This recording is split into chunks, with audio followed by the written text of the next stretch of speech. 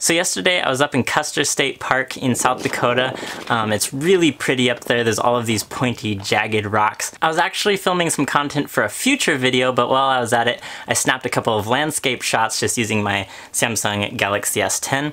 And I really like how this photo turned out, so I went ahead and dropped it into Photoshop to see if I could spruce it up a bit. And here are my results. It's pretty heavily edited, but I like how it looks, so I just wanted to show you guys my Photoshop workflow for what I did to this photo and how you can get these same results in your smartphone photos just with a couple of really simple steps in Photoshop. So the first thing I did right off the bat was get rid of this boring sky situation that we have going on here, which the latest update to Photoshop made incredibly easy.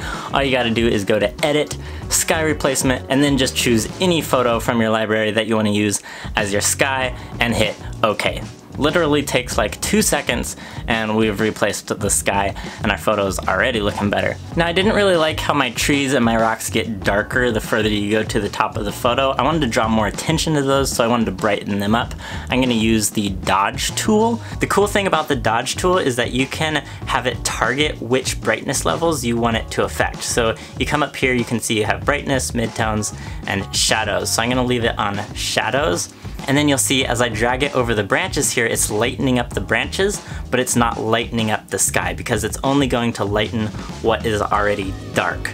So it's not going to overexpose something that's already bright, it's just gonna bring up the brightness of the shadows. So that's where the dodge tool is really handy. So I'm just gonna use that a bit more on this tree here. Just brighten those up a bit so that in our final photo, the trees will actually look green instead of just black silhouette against the sky. The sun is also just way too dark here, so I'm gonna make an artificial sun flare all you gotta do is make a new layer and then come in with your paintbrush tool. I have a round feather edge brush. Just click once, make a nice circle there of white. Think I'm gonna come in here with a bit of yellow as well. Super simple, we got ourselves a sun flare. And that is all I'm gonna do here in Photoshop. I do want to tinker with the colors a bit, but I'm gonna go ahead and do that in Lightroom because Lightroom's gonna give us more control over the colors. So I'm just going to save this photo and then reopen it in Lightroom. I'm going to apply a preset to this, I have a preset called Modern Moody. This is actually a preset that I made myself. All of the Lightroom presets that I use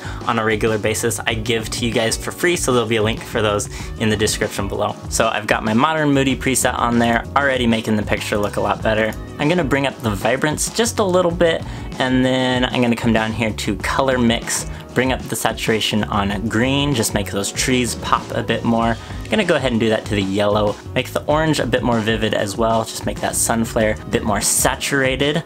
And I think I'm gonna bring up the overall brightness of the photo as well, just a little bit. And I think I'm gonna call that good. So here's my final photo. And here's before and after. Hope this video was helpful for you guys. If it was, go check out some of my other videos right here, and I'll see you guys next time.